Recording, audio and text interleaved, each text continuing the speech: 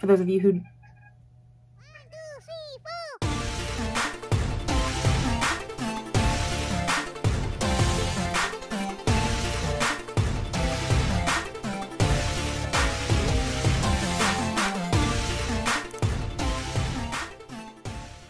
YouTube, welcome back or to my YouTube channel. My name is Ricky or Hailiiz and I do art stuff. For today's YouTube video, I'm going to talk to you about how I learned to draw. Now, I want to preface this video with saying that everyone has their own journey. Some people go to school, some people start super, super young and they're crazy 13 year olds with amazing skill. I am completely and utterly self-taught, so I thought I would just explain how I got to where I am today. A couple of announcements before we get started. Firstly, we started doing monthly challenges over on the Discord. This month's challenge is draw your OC as a mermaid. For those of you who don't know or are new to the art community, a handful of months throughout the year we have as an art community like these things that we do. And one of them for May is mermaid. So we figured it was a perfect challenge. It was such a fun idea. The winners will be a community vote. It is not picked by me or anybody else. And the winner receives a 20% off gift card to the shop. So be sure to check out the Discord. The link is down below. Um, but I will bore you no longer. Let's get into today's video.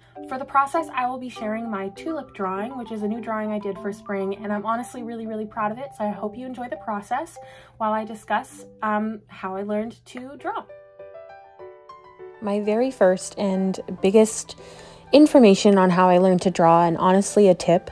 Um, before I say it, I want you all to know that I'm not trying to up my YouTube. Please check out other artists. There are so many wonderful people on YouTube, Instagram, all that good, good video content.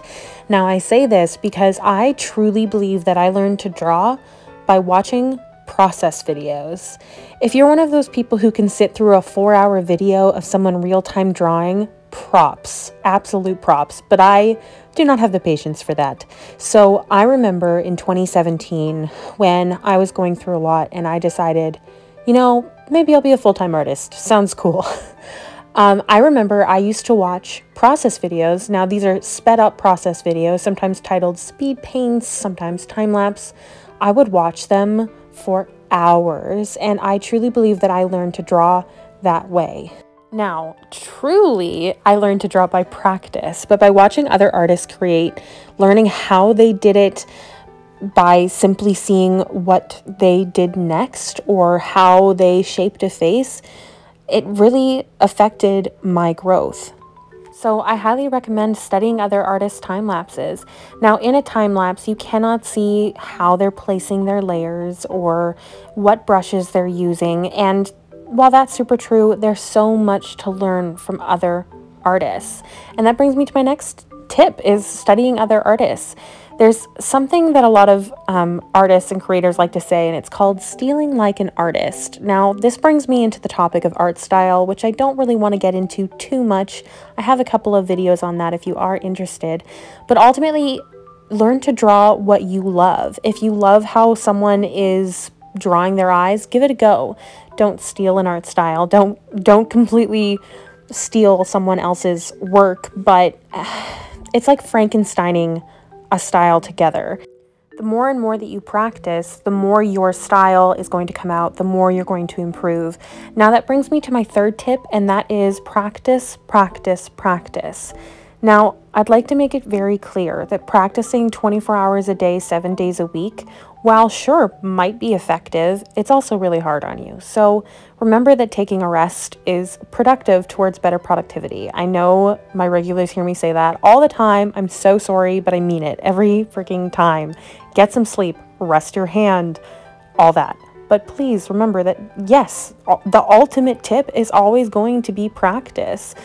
I highly recommend picking a certain topic, whether it be you're drawing side profiles that day, you're drawing noses that day, you're drawing eyes that day. Although I bet a lot of us artsy people have drawn a lot of eyes in our time.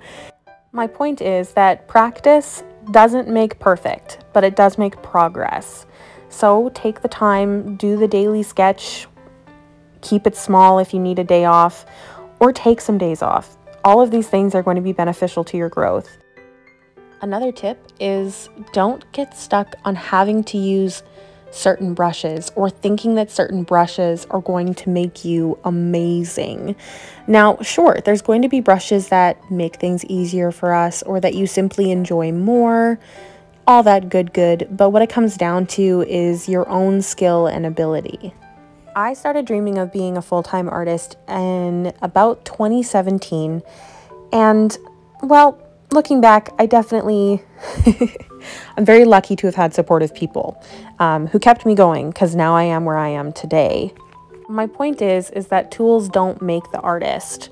There's, like I said, there's going to be certain brushes and things that sure make things easier or have a different effect, but you don't need all these things to be able to grow. So if you're a new artist and you don't want to be spending money on brushes, don't. Even better, Procreate has wonderful brush creating capabilities.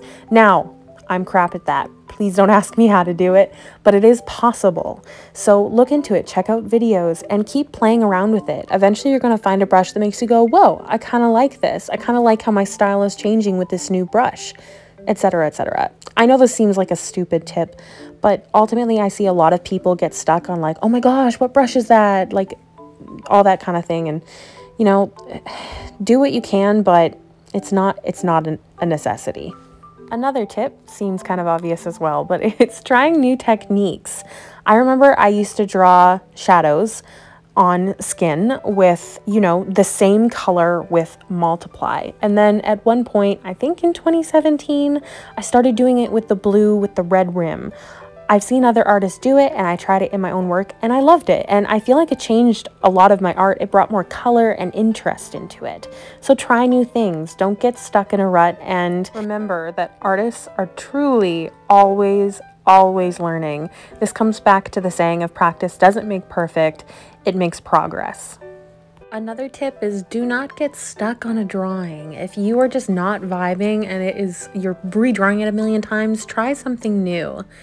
And my last tip kind of follows up with that is not every single drawing is going to turn out. Even your favorite huge artists online, they've got tons of work that they just don't like, that just didn't turn out to the same quality that they aspire all their work to turn out to, and they don't post it. So if you draw something one day and you're like, whoa, ew, this is quite bad, don't worry about it. Move on to the next thing. It doesn't make you a bad artist, it makes you a normal one. Ultimately, I truly believe that watching process videos, studying other artists, and creating as often as I was mentally and physically capable helped me grow. And I still have a really, really long way to go. But looking at this piece here and why I decided to use it for the process video, I painted a lot of this on one layer. Now, I was using multiple layers and merging, but old me would not have been able to create anything out of that. It would have become a absolute blob. Now, this is a technique and I don't use it in everything, but I had a lot of fun with it. And this is again why it's important to practice and try new techniques because as an artist or as a creator, creative in general, we're going to get bored of things and that's okay. If you don't get bored of it and you end up doing the same thing over and over again and it's working for you, that's okay. Once again, I repeat from the from the earliest part of this video is every artist has their own journey and it seems like bull, but I've been through a lot and I just want to remind you to keep going. And if you look at your art now and say, "Holy crap, this sucks." Whatever. The coolest thing about being an artist is you'll only get better as long as you keep going and practicing and learning new things. That's it for my little video. I hope I didn't bore you all too much with my usual ranting, but I appreciate you if you've watched this far. I hope that you're feeling creative today and get something out and you're happy with it. And if you're not, well, that's okay. Eat some cheese. Don't forget to leave a comment down below, subscribe for almost weekly videos, and I will see you in the next one. Bye!